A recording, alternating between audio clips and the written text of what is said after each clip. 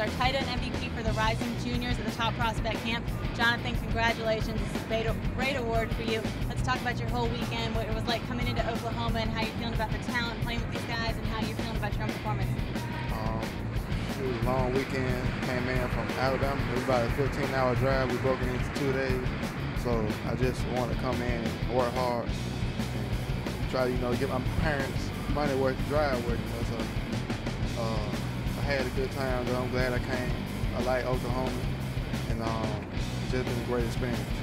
Now let's talk about what it was like playing with some of these guys. We mentioned earlier that we've got a lot of really good talent, especially from the tight ends.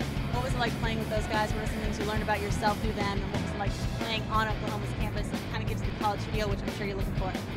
Yes, man. Um, the tight ends, they, they, were they were pretty big, you know. So I, I just looked at them like, uh, I'm only six one, about six four, six five. So I just thought that I had to step my game up a little bit. They challenged me, you know. They really brought the best out of me, especially campus and all that too. Now you brought in guys from all over the country. Were there any trends that you noticed, like say from some guys do this from the south, some guys do this from the east? Was there anything that maybe you noticed about those guys? No, man, I didn't really notice much. I just, you know, I noticed a lot of accent, but not not far as playing. But everybody plays the same. Jonathan, congratulations, big day out here.